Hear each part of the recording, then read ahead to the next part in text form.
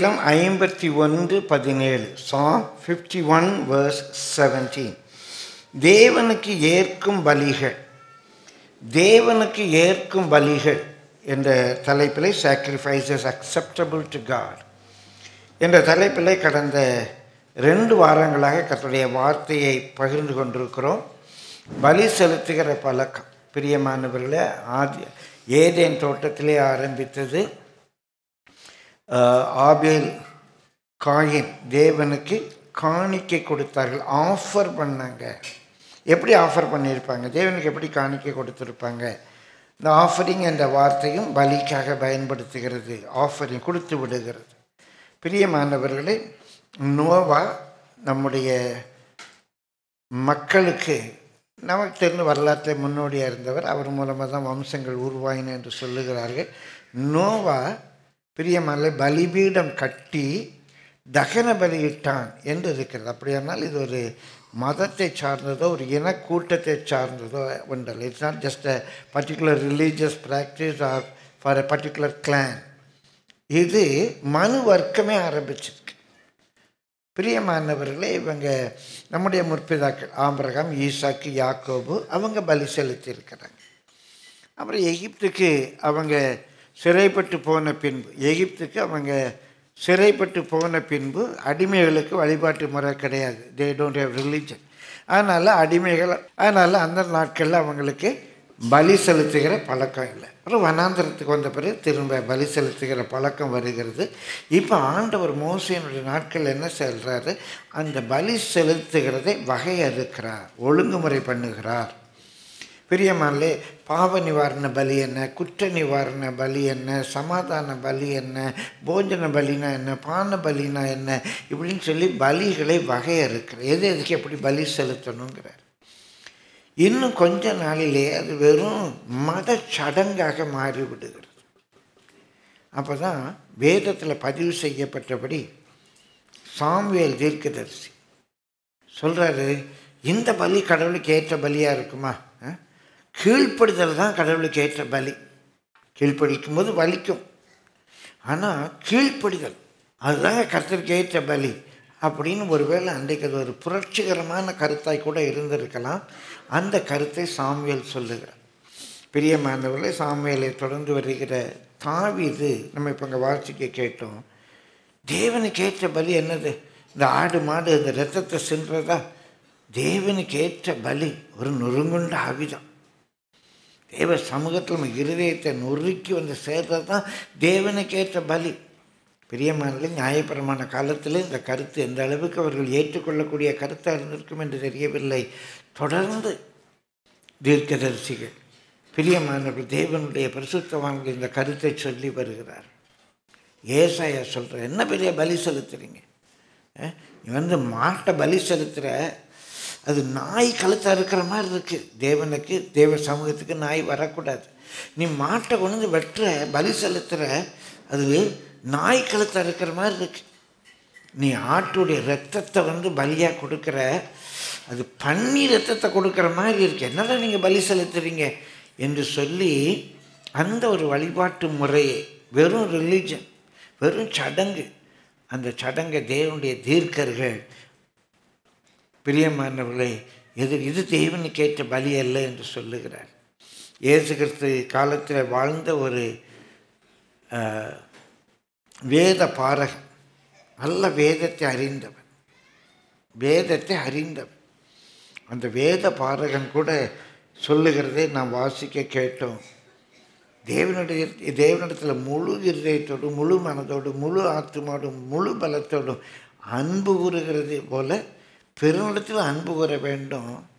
இதுதான் எல்லா பலிகளை காட்டிலும் சிறந்தது அப்படின்னு இயேசுடைய நாட்களில் கூட ஒரு வேத பாரகன் சொல்லுகிறதை நம்ம கேட்குறோம்.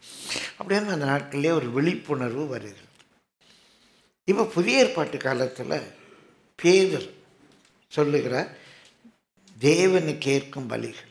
நம்ம வாசித்தோம் வாசித்து கடந்து போவோம். ஒன்று பேர் ரெண்டாம் அதிகாரம் ஒன்று பேர் ரெண்டாம் அதிகாரம் ஐந்தாம் வசனம் one Peter chapter two verse five ஜீவனுள்ள கற்களைப் போல ஆவிக்கேற்ற மாளிகையாகவும் இயேசு கிறிஸ்து மூலமாய் தேவனுக்கு பிரியமான ஆவிக்கேற்ற பலிகளை செலுத்தும்படிக்கு பரிசுத்த ஆசாரிய கூட்டமாகவும் கூட்ட கட்டப்பட்டு வருகிறோம்.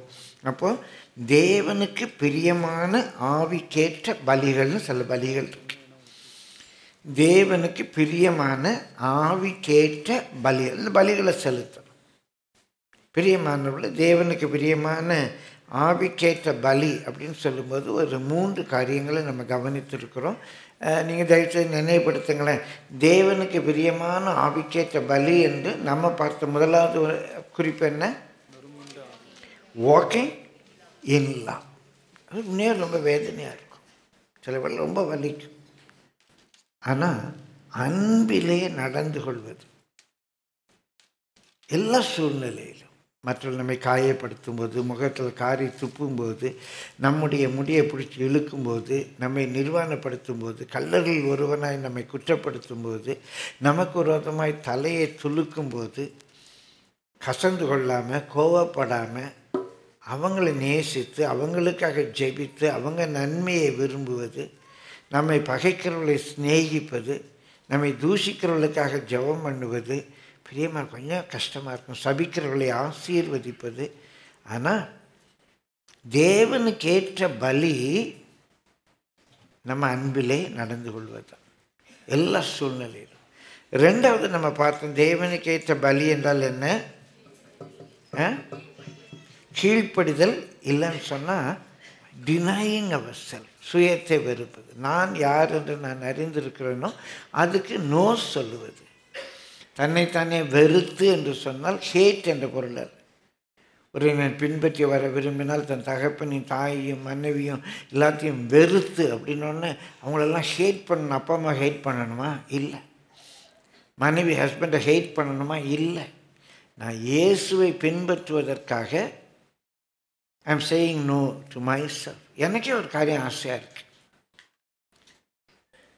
என் பாவ மனுஷனுக்கு அது ஆசையாக இருக்கு. ஆனால் நான் இயேசுவை பின்பற்ற விரும்புகிறேன் அதனால் அதுக்கு நான் நோ சொல்ல வேண்டும். நான் விரும்புகிறதை செய்யாமல் நான் விரும்பாததே செய்கிற ஒரு நிர்பந்தமான மனுஷன். ஆனால் எனக்கு பிரயோஜனமாக இருக்கிறதுக்கு நான் நோ சொல்லணும். நான் நோ சொல்லணும். பிரியமானவர்களே அதுதான் டினையிங் செல்ஃப் அது கொஞ்சம் வலிக்கும். எனக்கு லாபமாய் தோன்றுகளை நஷ்டம் என்று நினைக்கணும் நான் சிலுவையில் அறையப்படணும். இனி நான் பிழைத்திருக்கக்கூடாது கிறிஸ்திய நிலை பிழைத்திருக்கணும். அதுதான் ஒரு பலி சரி மூன்றாவது ஒன்று நம்ம கவனிக்க ஆரம்பித்தோம். என்னது? ஸ்தோத்திர பலி. அந்த ஸ்தோத்திரன் பலி உதட்டின் கனியாக இருக்கலாம் உதட்டின் காளையாக இருக்கலாம். ஸ்தோத்திர பலி என்பது அந்த ஒரு சின்ன முகவுரை தான் சொன்னேன். ஸ்தோத்திரம் ஸ்தோத்திரம் ஸ்தோத்திரம்னு சொல்லி வேகமாக சொல்கிறதோ பிரியமானவர்களை இன்றைக்கு ஒர்ஷிப் என்ற பெயரில் ஒரு குத்தாட்டம் போடுவதோ ஒர்ஷிப் கிடையாது. நான் மீண்டும் சொல்ல விரும்பலை. ஆனால் வேதத்தில் ஆதியாகமத்திலிருந்து வெளிப்படுத்தின விசேஷம் மட்டுமாக ஒரு இடத்துல ஆகிலும் வேர்ஷிப் என்று சொல்லுவது குத்தாட்டம் கிடையாது. இயேசு நமக்கு மாதிரியாக இருக்கிறது இயேசு வந்து தேவனை ஒர்ஷிப் பண்ணுறதுக்கு அப்படி டான்ஸ் ஆடினார். ஒரு ஸ்டெப் டு த லெஃப்ட் ஒரு ஸ்டெப் டு த ரைட் சுற்றி சுற்றி சுற்றி சுற்றி சுற்றி அப்படிலாம் ஆண்டவர் டான்ஸ் ஆடினார் என்று என்னால் கற்பனை பண்ண முடியலை.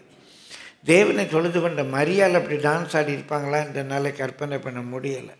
அன்றைக்கு ஆராதனை வேலையில் பவுலும் பேதருவும் யோவானும் யாக்கோவும் பிரியமானில் இப்படி டான்ஸ் ஆடி இருப்பாங்களா என்று என்னால் கற்பனை பண்ண முடியவில்லை. இது ஒரு நூதனமாய் தோன்றின ஒரு பேய்த்தனத்துக்கு அடுத்த உபதேசம். நான் தைரியமாக சொல்கிறேன் பிரியமானவர்களை நான் வணங்குகிற ஏசு அப்படி ஆடலை. வேத நான் கையில் வச்சுருக்க வேதாகமத்தில் பழைய ஏற்பாட்டில் பழைய இப்போ புதிய ஏற்பாட்டிலேயோ ஓர்ஷிப் டயத்தில் யாரும் டான்ஸ் ஆடினாங்க என்று இல்லை. நான் சொன்னேன் முத ஆபிரகாம் தொழுது கொள்ள போனார். நானும் பிள்ளையாண்டன் போய் தொழுது கொண்டு வரோன்னா நானும் பிள்ளையாண்டன் போய் கொஞ்ச நேரம் அங்கே டான்ஸ் ஆடிட்டு வரோம் அப்படின்னு சொன்னாங்க. வெளிப்படுத்தின மத்தியில் பார்த்தோம் சாஸ்திரிகள் எப்படி தொழுது கொண்டார்கள் என்று. எப்படி ஓர்ஷிப் பண்ணாங்க? பரலோகத்தில் அந்த worship எப்படி நடக்கும் என்று சொல்லி பார்த்தோம். சிம்மாசனத்திலிருந்து எழுந்து கிரீடத்தை கலட்டி வைத்து தாழ விழுந்து அவரை ஓர்ஷிப் பண்ணாங்கன்னு இருக்குது. ஒன்றே ஒன்று சொல்லுவாங்க. தாவீது நடனம் ஆடினான் தாவீது நடனம் ஆடினான். பிரியமானவர்களே தயவு செய்து மோசம் போகாதீர்கள். அங்கே சொல்லப்பட்ட சொல் ஸ்கிப்பிங் அண்ட் ஜம்பிங் ஒரு குதூகலத்தில் குதித்தான் சந்தோஷத்தில் குதித்தான் நம்ம ஒரு ஓட்டேரி ஸ்டைல் டான்ஸ் அது. அது ஸ்டெப் டான்ஸ்லாம் இல்லை கிளப் டான்ஸ்லாம் இல்லை. அந்த நம்ம சொல்கிற டான்ஸ் என்ற சொல் வேதத்தில் ஒரே ஒரு இடம் வருகிறது. பிரியமானவர்களே அங்கே ஏரோது பிறந்த நாள் அன்னைக்கு ஏரோதுடைய மகள் ஆடின டான்ஸ்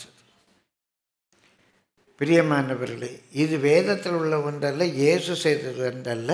அப்படியானால் இதனுடைய சோர்ஸ் எங்கேருந்து வந்திருக்குங்கிறத நீங்களே தீர்மானம் பண்ணிக்கொள்ளுங்க. அதனால் ஏமாந்து போகாதீங்க அது worshipல் அப்படியானால் ஸ்தோத்திர பலி என்ன? ஸ்தோத்திர பலி என்ன?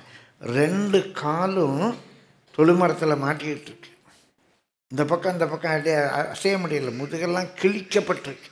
அந்த முதுகோடு படுத்திருக்கிறோம். அந்த சூழ்நிலையில் என் வாயை திறந்து ஆண்டவரே உமக்கு ஸ்தோத்திரையா அப்பா உமக்கு அவன் டான்ஸ் ஆடினானா இல்லை. அதான் பலி. அப்போ தான் சிறைச்சாலை கதவுகளை செய்து. பிரியமானவளை சத்துரு எதிர வாரான். பெரிய கூட்டம். செயிர் மலை தேசத்தார் அம்மோனியர் மோவாபியர். ஏற்று நிற்க பலன் இல்லை. கர்த்தர் நல்லவர் ஒரு கிருபை என்றும் உள்ளது. கர்த்தர் நல்லவர் ஒரு கிருபை என்றும் உள்ளது என்று நான் பாடுறேன். அதான் பலி. அதான் ஸ்தோத்திர பலி. பிரியமால ஸ்தோத்திர பலியிடுகிறவன் என்னை மகிமைப்படுத்துகிறான். தொடர்ந்து நம்ம இந்த ஸ்தோத்திர பலிக்காக ஒரு சில வசனங்களை நாம் வாசித்து கடந்து போகலாம். கத்தருடைய பரிசுத்த நாமத்துக்கு மகிமை உண்டாவதாக இன்றைக்கு ஆராதனை என்றால் என்ன என்பது மாத்திரம்தான் உங்களுக்கு சற்று தெளிவாக நான் சொல்லி கொடுத்தேன். இந்த ஸ்தோத்திர பலி செய்யும்போது என்ன நடக்குன்னு வாசிப்போம். சங்கீதம் ஐம்பது இருபத்தி மூன்று psalm fifty verse twenty three we shall see what is really ஸ்தோத்திர பலி. Psalm fifty verse twenty three வாசிங்க. ஸ்தோத்திர பலியிடுகிறவன். என்னை மகிமைப்படுத்துகிறான். ஸ்தோத்திர பலி இடுகிறவன் என்னை மகிமைப்படுத்துகிறான் எல்லா சூழ்நிலையிலே. பிரியமானவர்களே உதட்டின் கனியாகிய ஸ்தோத்திர பலி உதட்டின் காளையாகிய ஸ்தோத்திர பலி எல்லா சூழ்நிலையிலையும் நான் ஸ்தோத்திரம் சொல்லும்போது ஸ்தோத்திர பலியிடும்போது கர்த்தரை மகிமைப்படுத்துகிறேன். சங்கீதக்காரனுடைய வாழ்க்கை குறித்து ஒரு சின்ன கட்டுரை எழுதினேன். அன்று மன்னன் இன்று மகன் என்று சொல்லி. பிரியமானவர்களே அன்று ராஜா அவனை காட்டுக்கு துரத்துறான். வனாந்திரத்துக்கு துரத்துகிறான் ஜீவன் தப்ப வனாந்தரத்தில் போய் கிடக்கிறான். குருவி படுக்கையில் படுக்கிறான். அங்கே கிடைக்கிற காய் கனி கௌதாரி அது பிடிச்சி சாப்பிட்றான். தகப்பனை விட்டு தாயை விட்டு மனைவியை விட்டு குடும்பத்தை விட்டு ஊரை விட்டு துரத்தப்பட்டு காட்டில் போய் கிடக்கிறான். அங்கே எந்த காலத்திலும் எந்த நேரத்திலும் கத்தரை ஸ்தோத்திரிப்பேன்னு அவன் சொல்கிறான் பாருங்க. அதான் ஸ்தோத்திரப்பேன் அதான் ஸ்தோத்திர பலி பிறகு வயதான காலத்தில் ராஜா வயிற்றாரு அவன் மன்னன் அவன் மகன் அப்சலும் அவன் ஆட்களெல்லாம் இவனுக்கு விரோதமாக சேர்த்து அங்கே தாவிதிட்ட வர்றவங்களெல்லாம் கட்டி பிடிச்சி தாடியை தடவி விட்டு அணைச்சி எங்கள் அப்பாட்ட பண்ண ஒன்றும் நடக்காது நான் உனக்கு செய்கிறேன் நான் உனக்கு நியாயம் செய்கிறேன் அப்படி அப்படின்னு சொல்லி ஒரு கூட்டத்தை தனக்காக சேர்த்துட்டு வயதான காலத்தில் அப்பாவை காட்டுக்கு துரத்தி விடுறான். அப்போதும் அவர் தேவனை ஸ்தோத்தரித்தார். ஸ்தோத்திர பலி அப்படி ஸ்தோத்திர பலி செலுத்துகிறவன் சொல்றாரு தேவனை மகிமைப்படுத்துகிறார். அதனால தான் சங்கீதம் இருபத்தி ஏழு ஆறில் வாசிக்கிறோம். Psalm twenty seven verse six இப்பொழுது என் தலை என்னை சுற்றிலும் இருக்கிற என் சத்துருக்களுக்கு மேலாக உயர்த்தப்படும். என்னை சுற்றிலும் சத்துரு இருக்காங்க. என்னை சுற்றிலும் சத்துரு இருக்கிறாங்க. எப்படா அந்த அப்பாவை விரட்டி விட்டுட்டு நம்ம இந்த ஆட்சியை பிடிக்கலாம் அப்படின்னு ஒரு அப்சலம் சுற்றிக்கிட்டு இருக்கான். என்னை சுற்றிலும் சத்துருக்கள் இருக்கிறாங்க. என்னை சுற்றிலும் இருக்கிற என் சத்துருக்களுக்கு மேலாக நீர் என் தலையை உயர்த்துவீர். என் தலை உயர்த்தப்படும் அது நிமித்தம் அது நிமித்தம் அவருடைய கூடாரத்திலே அவருடைய கூடாரத்திலே நான் ஆனந்த பலிகளை இட்டு நான் ஆனந்த பலிகளை இட்டு கர்த்தரை பாடி கர்த்தரை பாடி அவரை கீர்த்தனம் பண்ணுவேன். அவரை கீர்த்தனம் பண்ணுவேன். கர்த்தரை பாடி நான் கீர்த்தனை பண்ணுவேன். நான் பலி செலுத்துவேன். நான் பாடி துதிப்பேன் அவரை. பிரியமானவர்களே கர்த்தருடைய பரிசுத்த நாமத்துக்கு மகிமை உண்டாவது ஒரு மகிழ்ச்சினால நீங்கள் ஆடி பாடி குதிக்கிறது. உங்களுடைய இன்ப உணர்ச்சிகளை நீங்கள் வெளிப்படுத்துவதை நான் தவறு என்று சொல்லலை. நல்லா மகிழ்ச்சியில் ஆடி பாடி குதிக்கிறத நான் தவறு என்று சொல்லலை. ஆனால் இன்றைக்கு ஒரு டான்ஸ் ஆட வைத்து ஒரு டிஸ்கோ ஜாக்கி மாதிரி ஒரு வேலை பார்த்து ஒரு ஆர்டிஃபிஷியலாக ஒரு அட்மாஸ்பியரை உண்டாக்கி அது வர்ஷிப் வர்ஷிப் ரொம்ப நல்லா இருந்துச்சு. இன்றைக்கி வர்ஷிப் நல்லா பாட்டு பாடணும். அதை வர்ஷிப் என்பதை தயவு செய்து மறந்து விடுங்க. நீங்கள் மகிழ்வது வேறு. கத்தோடைய பரிசுத்த நாமத்துக்கு மகிமை உண்டாவதாக. கத்தித்தமாக இந்த ஸ்தோத்திரத்தை குறித்து இந்த ஸ்தோத்திரத்தினால் உள்ள நன்மைகளை குறித்து வருகிற நாட்களில் நான் உங்களோடு கூட பேசுகிறேன் நேரம் கருதி. அடுத்த பலிக்குள்ளாக நான் கடந்து போக விரும்புகிறேன். ரோமர் பனிரெண்டு ஒன்றெண்டு வசனங்களை வாசிப்பேன் Roman chapter twelve verses one and two வாசியுங்கள். அப்படி இருக்க சகோதரரே. நீங்கள் உங்கள் சரீரங்களை பரிசுத்தமும் தேவனுக்கு பிரியமுமான ஜீவ பலியாக ஒப்பு கொடுக்க வேண்டும் என்று தேவனுடைய இரக்கங்களை முன்னிட்டு உங்களை வேண்டிக் கொள்கிறேன் இன்னொரு பலி தேவனுக்கு ஏற்ற பலி. தேவனுக்கு ஏற்ற பலி. இந்த நாட்களில் பிரியமானவர்களே கள்ள உபதேசத்தை பேசுகிறவர்கள் ஜனங்களை தங்களுக்கென்று ஆதாயப்படுத்திக் கொள்ள விரும்புகிறவர்கள் பிரியமானவர்களே சத்தியத்தை அநியாயத்தினாலே மறைக்கிற அவபக்தி உள்ளவர்கள். அவர்களுக்கு விரோதமான தேவனுடைய தீர்ப்பு வரும் என்று வேதத்திலே வாசிக்கிறோம். சத்தியத்தை அநியாயத்தினாலே மறைக்கிற அவபக்தி உள்ளவர்கள் என்று வாசிக்கிறோம். இன்றைக்கு வேத வசனத்துக்கு நேர் மாறாக வேத வசனத்துக்கு நேர் மாறாக directly opposite or against the word of God ஓப்பனாக பேசுகிற கள்ள உபதேசங்கள். நமக்கு சரீர பரிசுத்தம்லாம் தேவையில்லை. தேவன் முகத்தை பார்க்கல மனசை பார்க்கல மனுஷன்தான் முகத்தை பார்க்குறான்.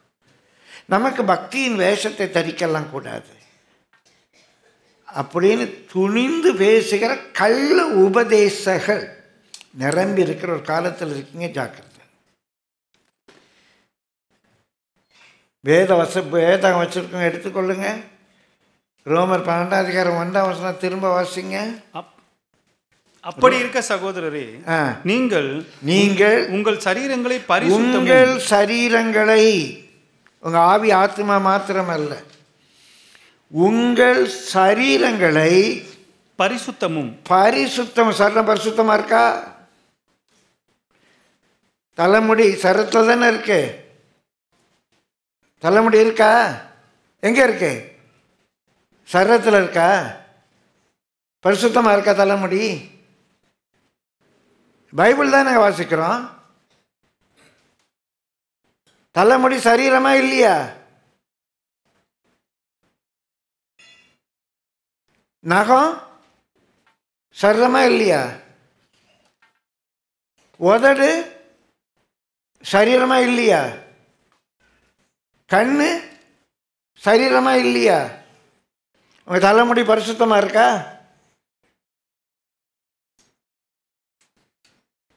உங்கள் உதடு பரிசுத்தமாக இருக்கா? காது கை விரல் பரிசுத்தமாக இருக்கா? நான் பைபிளை தான் சொல்கிறேன் கள்ள உபதேசம் பாதி பைபிளுக்கு விரோதமாக பேசலை. சரீர பரிசுத்தம் தேவையில்லைன்னு ஏதாவது ஒரு வசனம் காட்டுங்க பார்க்கலாம். இந்த பொய்யர்கள் சாமியல் ஆண்டவர் தாவீதை பற்றி சொன்னார். அது அவுட் ஆஃப் கான்டெக்ட் கொண்டு வந்து பொருத்துவாங்க. அவர் ராஜாவை எலெக்ட் பண்ண வந்திருக்கிறான். ஈசாயினுடைய பையன் தாவீது வர்றான். அவன் சின்ன பையன். பார்க்க ரொம்ப அழகாக இருக்கிறான் விளையாட்டு பையன் மாதிரி இருக்கிறான் ஆடு மேய்ச்சிக்கிட்டு இருக்கிறான். இவனாக ராஜாவாக போகிறான் அப்படின்னு சாமியில் நினைக்கிறான். அப்போ ஆண்டவர் சொன்னார் நீ அவன் முகத்தை பார்த்து ஜட்ஜ் பண்ணாத. நான் அவன் இருதயத்தை பார்க்குறேன். அவன் ஒரு சிங்கத்தை கிழிச்சு போட்டவன். சின்ன பையன்தான். ஆட்டை பிடிக்க வந்த ஒரு சிங்கத்தை அப்படி கிழிச்சு போட்டவன் அவன். அவன் என்ன க- கெத்து உள்ளவன் எனக்கு தெரியும்ப்பா நான் இருதயத்தை பார்க்குறேன். என் முகத்தை பார்த்து அவனை எடை போடாதே என்று சொன்னாரே ஒழிய அந்த வசனத்தை சரீர பரிசுத்தம் தேவையில்லை என்பதற்கு கொண்டு இணைக்கிற கள்ள உபதேசங்களை குறித்து ஜாக்கிரதையார் அது வேற கான்டெக்ட் வேற எங்கேயாவது பைபிளில் இருக்கா சர்வ பரிசுத்தம் தேவையில்லை என்று? ஒரு ஆசரிப்பு கூடாரத்தில் ஒரு உடன்படிக்கை பற்றி செய்ய வேண்டும் என்றாலும் உள்ளும் புறம்பும் அந்த பரிசுத்த ஸ்தலத்தில் வைக்கிற சைடில் வைக்கிற பலகைகள் அந்த பலகைகளை பற்றி சொல்லும்போது உள்ளும் புறம்பும். உள்ளும் புறம்பும். பிரியமானவர்களை மனவாட்டியை பற்றி சொல்லுங்கள். உள்ளே பூரண மகிமை உடையவள். உள்ள மகிமை. அப்போ வெளியே? வெளியே எப்படி இருக்கணும்? இந்த வசனம் சொல்லலையா? வலிக்கும். மற்றவங்க கேலி பண்ணுவாங்க. எனக்கே சில காரியங்கள் விருப்பமாக இருக்கும். அதுக்கு நான் நோ சொல்லணும். அதுக்கு நான் நோ சொல்லணும். உங்கள் சரீரங்களை திரும்ப வாசிங்க. உங்கள் சரீரங்களை பரிசுத்தமும் பரிசுத்தமும். ஜீவ பலியாக பரிசுத்தமும் தேவனுக்கு பிரியமுமான ஜீவ பலியாக என்ன விட்டாரன்னு பார்த்தேன். தேவனுக்கு பிரியமுமான ஜீவ பலியாக பிரியமானவர்களே என் தலைமுடிய நான் எப்படி அலங்கரித்தா தேவனுக்கு பிரியமாக இருக்கும்? யோசித்துக்கோங்க. நான் உங்கள் உங்கள் மயிர் மேலே எனக்கு அதிகாரம் கிடையாது. இந்த வார்த்தையை கண்ணியமாக சொல்லுகிறேன். பவுல் சொல்கிற உங்கள் மாம்சத்தை கொடுத்து நான் ஏன் மேன்மை பாராட்டணும்? உங்கள் சந்தோஷத்துக்கு நான் சகாயராக இருக்க விரும்புகிறேன் அவ்வளோதான் எது தேவனுக்கு பிரியமாக இருக்கும்? நான் எப்படி ட்ரெஸ் பண்ணால் தேவனுக்கு பிரியமாக இருக்கும்? நான் எப்படி என்னை அலங்கரித்தா தேவனுக்கு பிரியமாக இருக்கும்? பிரியமானவர்களை எது பரிசுத்தம்னு சொல்லலாம். எப்படி நான் ட்ரெஸ் பண்ணால் பரிசுத்தம்னு சொல்லலாம். யோசித்துக்கோங்க. ஆனால் நான் வசனத்தை சொல்கிறேன் உங்கள் சரீரம் தேவனுக்கு பிரியமான பரிசுத்தமாக இருக்க வேண்டும். அது வசனம். நான் இப்படி இருந்தால் தான் அது பரிசுத்தமாக இருக்கும். அப்படின்னா நீங்கள் அப்படி இருந்துக்கோங்க. பிரியமானவர்களே உங்கள் சரீரத்தை குறித்து ஜாக்கிரதையாக இருங்க. நம்ம வாசிக்கிறோம் ஒன்று தெசலோனிக்கிற ஐந்தாம் அதிகாரம் இருபத்தி மூன்றாம் வசனம் one Thessalonians five twenty three வாசிங்க. சமாதானத்தின் தேவன் தாமே. உங்களை முற்றிலும் பரிசுத்தமாக்குவாராக. இதுதான் முற்றிலும் உள்ள பரிசுத்தம். சமாதானத்தின் தேவன் தாமே உங்களை முற்றிலும் பரிசுத்தமாக்குவாராக. உங்கள் ஆவி ஆத்துமா சரீரம் முழுவதும். உங்கள் ஆவி ஆத்மா சரீரம். உங்க ஆவி ஆத்மா மாத்திரமல்ல. உங்க ஆவி ஆத்மா சரீரம் முழுவதும் முழுவதும் நம்முடைய கர்த்தராகிய இயேசு கிறிஸ்து வரும்போது நம்முடைய கர்த்தராகி இயேசு கிறிஸ்து வரும்போது குற்றமற்றதா இருக்கும்படி காக்கப்படுவதாக. ஒரு அதில் ஒரு குற்றம் சொல்லக்கூடாது. ஒரு குற்றம் சொல்லக்கூடாது. நீ ஒரு பண்ண தப்பு உன் சரத்தை இப்படி வச்சது தப்பு. குற்றமற்றதாக. காக்கப்படுவதாக. ஏன் சொன்னால் நல்லா கவனிங்க. ஏன் சரீர பரிசுத்தம் முக்கியம்? இந்த சரீரம் தான் மறுரூபமாகணும். ஏசு கிறிஸ்து வரும்போது பிரியமானவர்களே இந்த அழிவுக்கு ஏதுவான சரீரம் குலோசில் சொல்கிறார் இந்த வயல் பாடி இந்த அற்ப சரீரம் அவருடைய மகிமையான சரீரத்துக்கு ஒப்பாக மறுரூபமாகும். இந்த சரீரம் மறுரூபமாகும். நான் ஆவியில் உண்மையாக இருக்கிறேன் ஆத்மாவில் உண்மையாக இருக்கிறேன் என்பது மாத்திரமல்ல. என்னுடைய மாம்சத்தில் என்னுடைய சர்வத்தில் உள்ள அசூசிகள் நீங்க நான் பரிசுத்தமாக இருக்கும் என் சரீரம் குற்றமற்றதாக காக்கப்படும். ரோமர் பன்னெண்டு ஒன்றுக்கு வாங்க திரும்ப. ரோமர் பன்னிரெண்டு ஒன்று. அப்படி இருக்க சகோதரரே.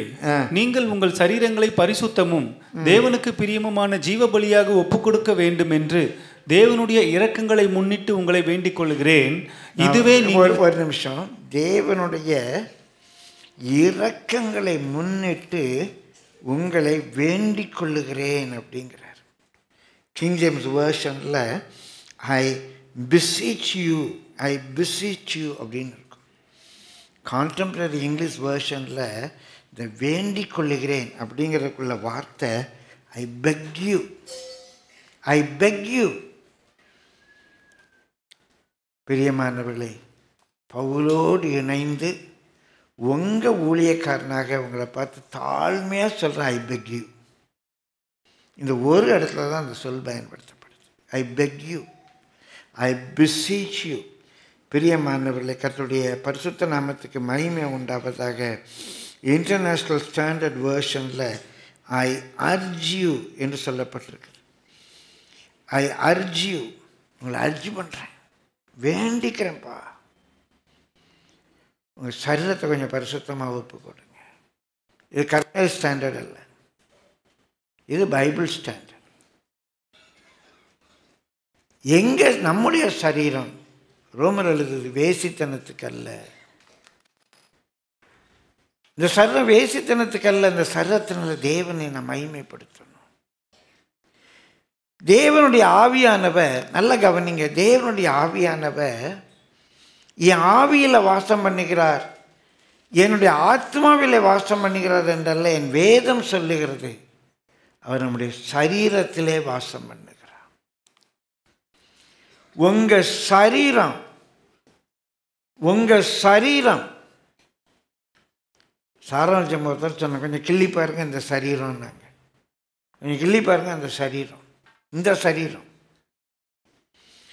இந்த சரீரம் ஜீவனுள்ள தேவனுடைய ஆலயமாக இருக்கிறது. ஜீவனுள்ள தேவனுடைய ஆலயமாக இருக்கிறது. பிரியமானவர் அப்போ இந்த சரணத்தை நான் எப்படி வைக்கணும்? செம்மலர் நோந்தால் சேர ஒட்ட அம்மலம் கழுவி அன்பரோடு மறியி மாலர நேயம் அழிந்தவர் வேடமும் ஆலயம்தான் அரண் என தொழுமே. நான் திடீர்னு அந்நிய பாஷை பேசணும் இல்லைங்க. சிவஞான போதம். அதில் மெய்கண்டார் எழுதின ஒரு சு- சூத்திரம். மெய் கண்டார் என்றால் வேற ஒன்றும் இல்லை சத்தியத்தை கண்டவர் மெய்யை கண்டவர். சத்தியத்தை கண்டவர். சிவஞான போதம் என்றால் அன்பின் ஞான போதகம் என்ற அர்த்தம். அங்கே என்ன சொல்லியிருக்கு? செம்மலை நோந்தால் சேர ஒட்ட அம்மலம் கழுகி. பலியாகி சிவந்த பாதங்களை உடைய அவரை சேர விடாமல் தடுக்கிற மலத்தை பாவத்தை அசுத்தத்தை. பலியாகி சிவந்த பாதங்களை உடைய அவரை சேர விடாமல் தடுக்கிற அந்த அசுத்தத்தை கழுகி அதெல்லாம் கழுவிரு.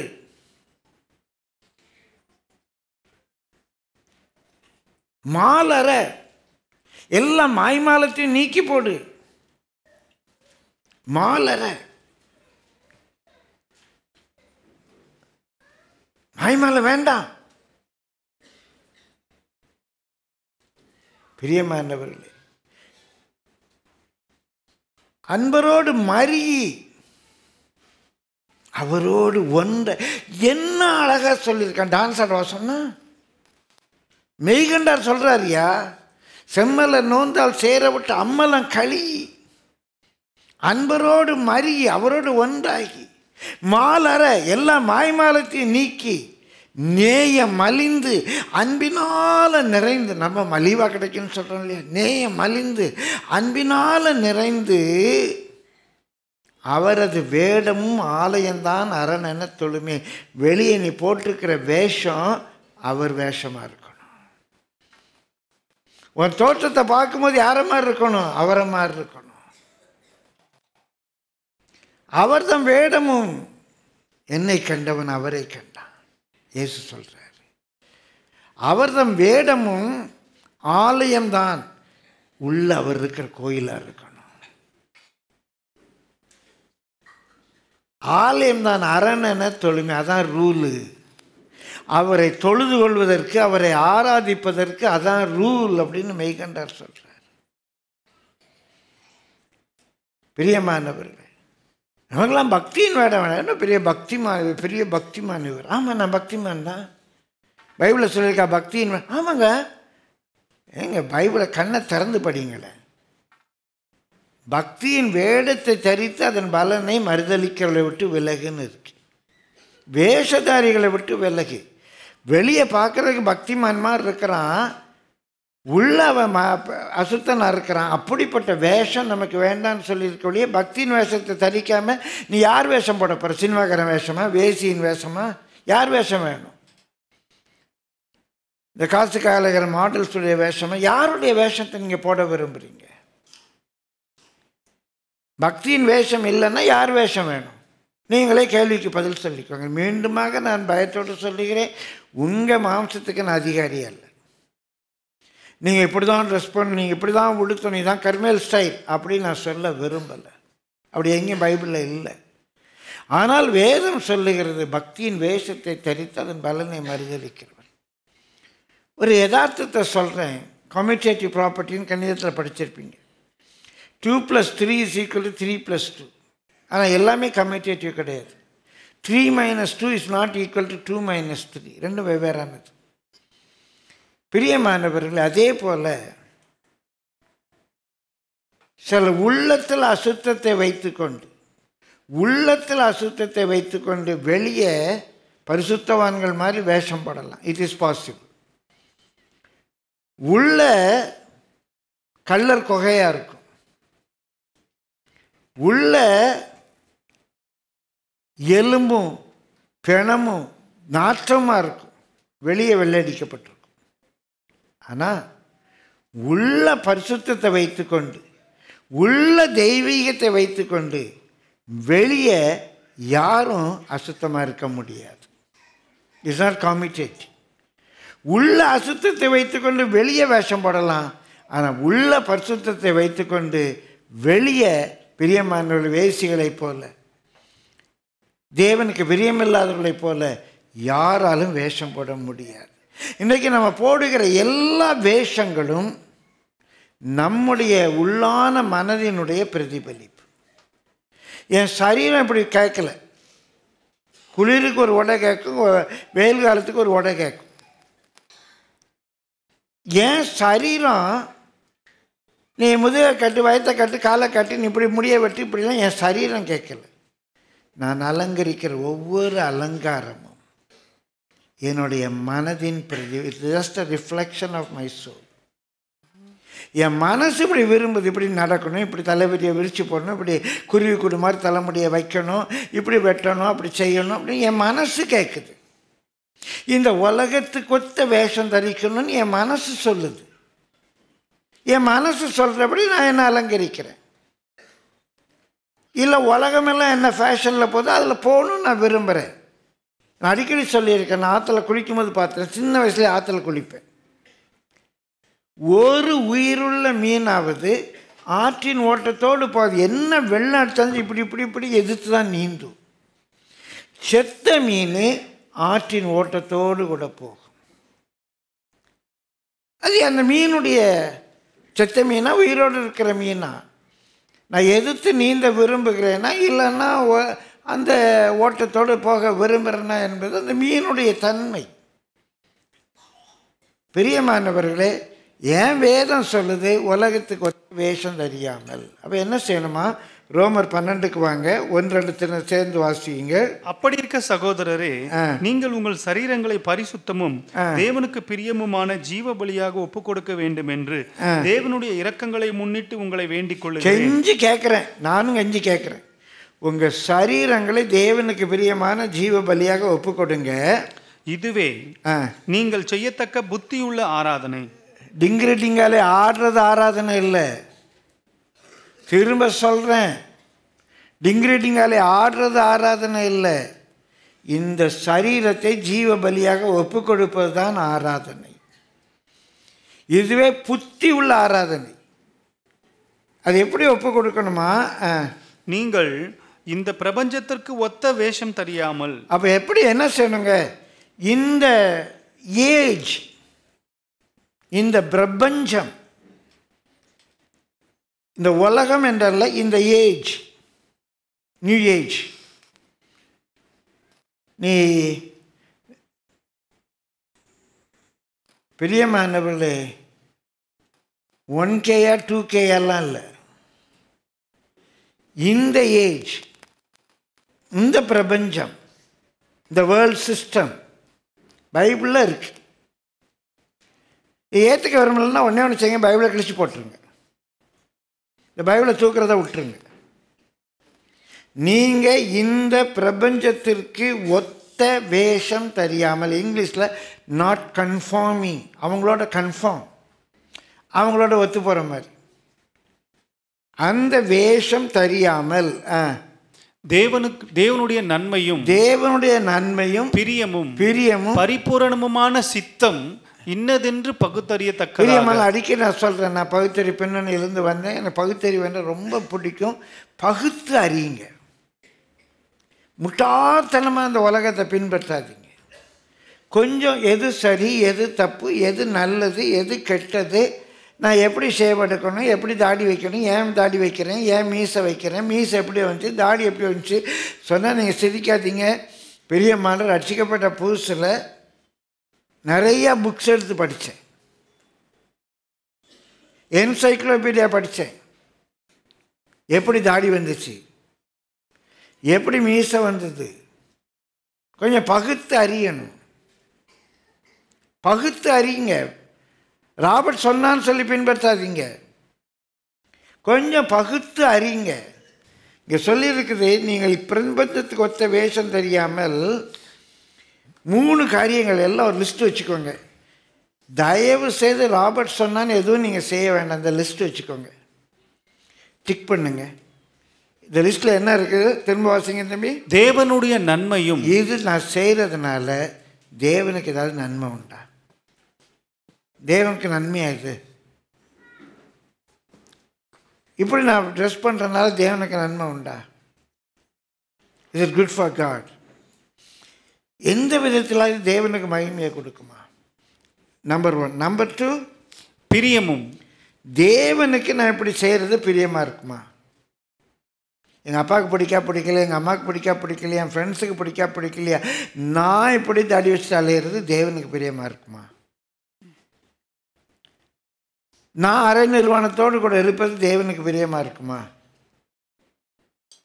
ஒரு கேள்வி கேளுங்க. ஒரு கேள்வி கேட்டு பாருங்க. பிரியமான சத்தியத்தை சொல்லாமல் நீ எப்படி வேணுமானாலும் வா எப்படி வேணுமானாலும் ஆடு நான் நல்லா மியூசிக் பாட்டி வைக்கிறேன். நல்லா டான்ஸ் ஆடுங்க நல்லா போங்க காணிக்கப்பட்டு போங்கன்னா எனக்கு காணிக்க கொட்டும். எனக்கு தேவையில்லை நான் பரலோகத்துக்கு போகணும். நான் சத்தியத்தை சொல்லணும். நான் சத்தியத்தை சொல்லணும். எல்லாரையும் பரலோகத்தை சேர்க்கணும்னு விரும்புகிறேன் கர்த்தர் எனக்கு இருந்த ஒருவரையும் நான் இழந்து போக விரும்பலை. ஆனால் இது கடினமான உபதேசம் யாராவது போயிட்டா எனக்கு வருத்தம் தான். ஆனால் சத்தியத்தை நான் மறைக்க முடியாது. சத்தியத்தை நான் மறைக்க முடியாது. இதுதான் சத்தியம். இங்கே வர்ற நீங்கள் எங்களுக்கு அளிக்கப்பட்ட கிருபைக்கு பங்குள்ளவர்கள். தேவனுடைய நன்மையும் செக்லிஸ்டில் நம்பர் டூ என்ன? பிரியம். தேவனுடைய பிரியமும் நம்பர் த்ரீ பரிபூரணமுமான சித்தம். என்ன குறித்து நான் இப்படி வேஷம் போடுறது? தேவனுடைய சித்தமா? நான் இந்த மாதிரி பேண்ட்ஸ் போடுறேன் இந்த மாதிரி கோட்டு போடுறேன் இந்த மாதிரி ஷர்ட் போடுறேன் நான் இந்த மாதிரி சுடிதார் போடுறேன். அந்த சுடிதாரில் உள்ள சால்வை இப்படி நான் போடுறேன். மேலே போடுற அந்த துப்பட்டாவை நான் இப்படி போடுறேன். இது தேவனுக்கு தேவனுடைய சுத்தமாக இருக்குமா? நான் இப்படி போடுற தேவனை மகிமைப்படுத்துமா? நான் துப்பட்டா போடுறேன் எப்படி போடுறேன்? ஹிஜாப் மாதிரி. நல்லா என்னுடைய உடலை என்னுடைய வளைவு சுழிவுகளை மறைக்கிற மாதிரி நான் போடுறேன்னா இல்லை இல்லாத இருக்கிற மாதிரி காட்டுறதுக்கு போடுறேன்னா நான் எப்படி போடுறேன்? யாரையும் குற்றப்படுத்தலை. ஒரு கேள்வி செக்லிஸ்ட் வச்சு கேளுங்க.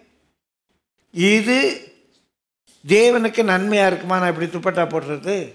நான் இப்படி துப்பட்டா போடுறது தேவனுக்கு பிரியமாக இருக்குமா? நான் இப்படி துப்பட்டா போடுறது தேவனுடைய பரிபூர்ண சித்தமாக இருக்குமா? ஒரு சின்ன செக்லிஸ்ட் ஒரு முடிவட்ட போய் உட்காருறீங்க. கொஞ்சம் கேட்டு பாருங்களேன். எது செஞ்சால் தேவனுக்கு பிரியமாக இருக்கும்? எது உலகத்துக்கு ஒத்த வேஷமாக இருக்கும்? கொஞ்சம் கேட்டு பாருங்கள் சிம்பிள் நீங்கள் எப்படி வேண்டுமானாலும் அலங்கரிங்க. ஆனால் அந்த மூன்று கேள்விகளுக்கு நீங்கள் பதில் சொல்ல வேண்டும். பிரியமானவர்களே உங்களை குற்றப்படுத்தும்படியாக அல்ல எங்களோடு கூட நீங்களும் பரலோகத்துக்கு வர வேண்டும். உங்கள் சரீரம் பரிசுத்தமாக இருக்க வேண்டும். கெஞ்சி கேட்டுக்கிறேன்னு பவுல் சொல்கிறார் ராபர்ட் சொல்கிறான்னு கேட்கட்டாலும் பவுல் சொல்கிறாருன்னா அது கேளுங்களேன். உங்கள் சரீரங்களை தேவனுக்கு பிரியமான ஜீவ பலியா ஏசு சொல்லலைங்க பவுல் தானே சொன்னார். கிழிச்சு போட்டுருங்க புதிய ஏற்பாட்டை. இயேசு சொன்ன காஸ்பிள்ஸ் மட்டும் வச்சுக்கோங்க. அது ஏசு சொன்ன எப்படி தெரியும்? மத்திய மார்க்கு லூக்கா யோவன் தான் எழுதியிருக்காரு. கத்துடைய பரிசுத்த நாமத்துக்கு மகிமை உண்டாகுது பழைய ஏற்பாட்டிலேயே சங்கீதக்காரர் தெளிவாக சொல்கிறார் பாருங்கள் சங்கீதம் இருபத்தி ஒன்பது ரெண்டு வாசிங்க சங்கீதம் இருபத்தி ஒன்பது ரெண்டு.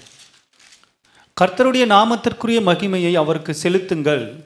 பரிசுத்த அலங்காரத்துடனே கர்த்தரை தொழுது கொள்ளுங்கள். பிரியமல் நமக்கு ஒரு அலங்காரம் தேவைங்க. அலங்கோலமாக இருக்க வேண்டாம். அந்த அலங்காரம் பரிசுத்தம் என்று இருக்க வேண்டும். பரிசுத்தம் என்று இருக்க வேண்டும். மாடஸ்ட் கண்ணியமானது என்று இருக்க வேண்டும். இந்த மாடஸ்ட் என்ற சொல் கண்ணியமானது இட் should பி மாடஸ்ட்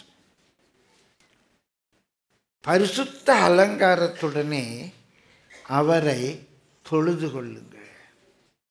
கர்த்தருடைய பரிசுத்த நாமத்துக்கு மகிமை உண்டாகுது இன்னொரு காரியத்தை கூட நான் சொல்லி முடிக்க விரும்புகிறேன். வாசியுங்கள் எப்ரேயர் பதிமூன்று பதினாறு. எப்ரேயர் பதிமூன்று பதினாறு. அன்றியும் நன்மை செய்யவும் தான தர்மம் பண்ணவும் மறவாதிருங்கள். இப்படிப்பட்ட பலிகளின் மேல் தேவன் பிரியமா இருக்கிறார். பிரியமானவர்களே கர்த்தருடைய பரிசுத்த நாமத்துக்கு மகிமை உண்டாவதாக. இன்னொரு அருமையான பலி. பிரியமானவர்களே சரீரத்தை பரிசுத்தமாய் ஒப்பு கொடுக்கிறது போல இன்னொரு பலி. நன்மை செய்வது. குட் ஒர்க்ஸ் நன்மை செய்கிறதுல சோர்ந்து போகாதீங்க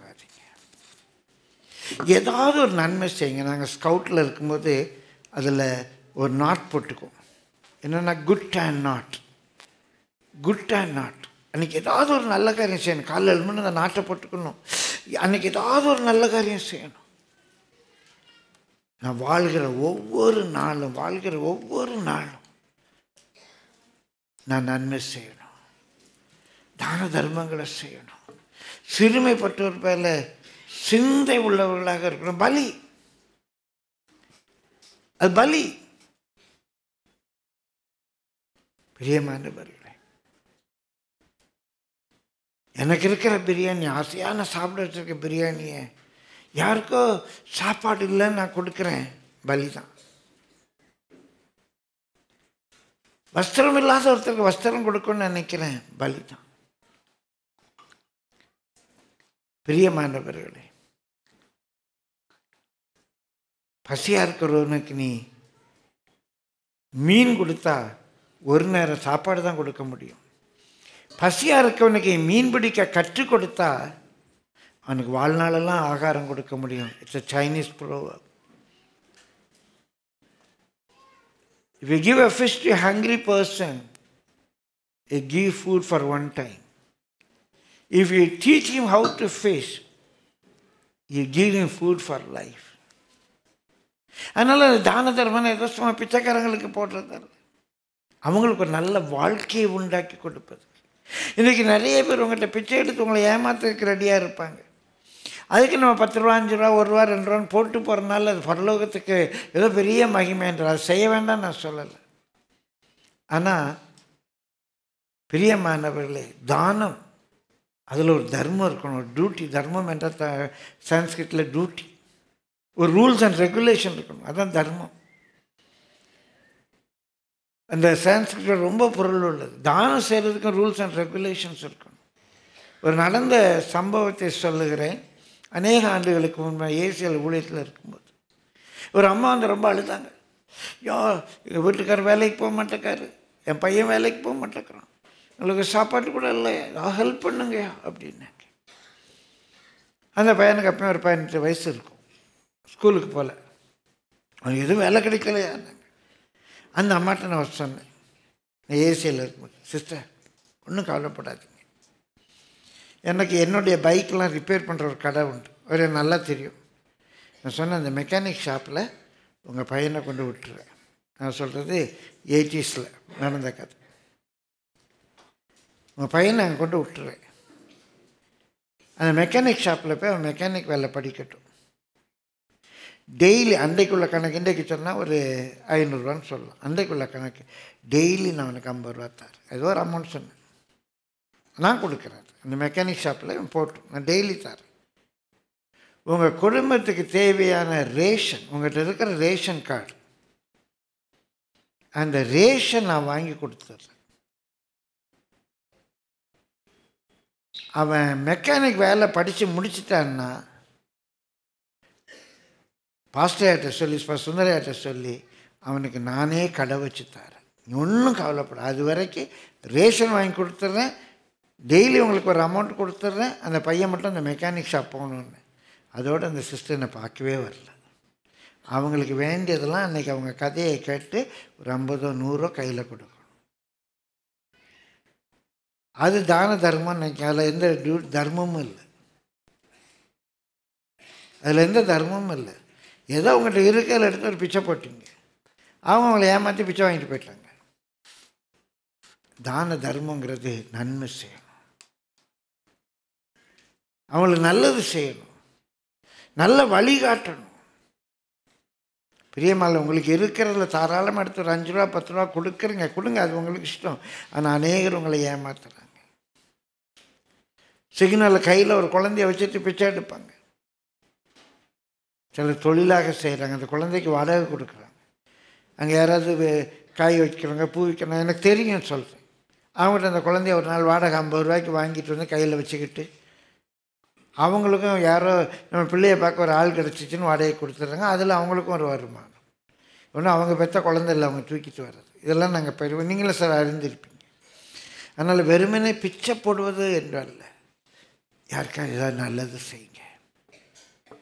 ஒரு நாளாகலும் நம்ம இந்த உலகத்தில் ஒரு நல்லது செய்யாமல் ஒரு நாள் கூட கடந்து போக வேண்டாம். பிரியமானவர்களே வேதம் வாசிக்க தெரியாத ஒருவருக்கு பக்கத்தில் உட்காந்து பைபிள் வாசிக்கலாமே. கண் தெரியாத ஒருத்தங்க அந்த ரோட்டை கிராஸ் பண்ணுறதுக்கு அவங்களுக்கு ஹெல்ப் பண்ணலாமே. பலவீனமாக பஸ்ஸில் நம்ம பக்கத்தில் நிற்கிறவங்களுக்கு நம்ம உட்கார ஒரு இடம் கொடுக்கலாமே. நன்மை செய்கிறதுல சோர்ந்து போகாதீங்க. கத்தோடைய பரிசுத்த நாமத்துக்கு மகிமை உண்டாவதாக பிரியமான நமக்கு நன்றாய் தெரிந்த ஒரு வேத பகுதி தான் வாசிப்போம். மற்ற இருபத்தி ஐந்தாம் அதிகாரம் முப்பத்தி நான்காம் வசனத்திலிருந்து வாசியுங்க மற்ற இருபத்தி ஐந்து முப்பத்தி நான்கிலிருந்து. அப்பொழுது ராஜா தமது வலது பக்கத்தில் நிற்பவர்களை பார்த்து வாருங்கள் என் பிதாவினால் ஆசீர்வதிக்கப்பட்டவர்களே உலகம் உண்டானது முதல் உங்களுக்காக ஆயத்தம் பண்ணப்பட்டிருக்கிற ராஜ்யத்தை சுதந்தரித்துக் கொள்ளுங்கள். பசியா இருந்தேன் எனக்கு போஜனம் கொடுத்தீர்கள். தாகமா இருந்தேன் என் தாகத்தை தீர்த்தீர்கள். அந்நியனா இருந்தேன் என்னை சேர்த்து கொண்டீர்கள். வஸ்திரமில்லாதிருந்தேன் எனக்கு வஸ்திரம் கொடுத்தீர்கள். வியாதியா இருந்தேன் என்னை விசாரிக்க வந்தீர்கள். காவலில் இருந்தேன் என்னை பார்க்க வந்தீர்கள் என்பார். அப்பொழுது நீதிமான்கள் அவருக்கு பிரதியுத்தரமாக ஆண்டவரே நாங்கள் எப்பொழுது உம்மை பசியுள்ளவராக கண்டு உமக்கு போஜனம் கொடுத்தோம்? எப்பொழுது உம்மை தாகமுள்ளவராக கண்டு உமக்கு தா உம்முடைய தாகத்தை தீர்த்தோம்? எப்பொழுது உம்மை அந்நியராக கண்டு உம்மை சேர்த்து கொண்டோம்? எப்பொழுது உம்மை வஸ்திரமில்லாதவராக கண்டு உமக்கு வஸ்திரம் கொடுத்தோம்? எப்பொழுது உம்மை வியாதியுள்ளவராகவும் காவலில் இருக்கிறவராகவும் கண்டு உம்மிடத்தில் வந்தோம் என்பார்கள். அதற்கு ராஜா பிரதியுத்தரமாக மிகவும் சிறியவராகிய என் சகோதரரான இவர்களில் ஒருவனுக்கு நீங்கள் எதை செய்தீர்களோ அதை எனக்கே செய்தீர்கள் என்று மெய்யாகவே உங்களுக்கு சொல்லுகிறேன் என்பார். பிரியமான கத்துடைய பரிசுத்த நாமத்துக்கு மகிமை உண்டாவதாக. மிகவும் சிறியவராகிய என் சகோதரரான இவர்களில் ஒருவனுக்கு சில வேத விளக்கங்கள் அங்கிருந்த சீடர்களை பற்றி இயேசு சொன்னார் அப்படின்னு சொல்லுவாங்க. பிரியமானவர்களை இயேசுவினுடைய சகோதரர். இயேசுவினுடைய சகோதரர். தேவ பிள்ளை இவர்கள் ஒருவனுக்கு எதை செய்தீர்களோ அதை எனக்கே செய்தீர்கள் என்று மெய்யாகவே உங்களுக்கு சொல்லுகிறேன் என்றார். ரெண்டு காரியங்க. கச்சித்தமாக அடுத்த வாரம் தொடர்றேன்.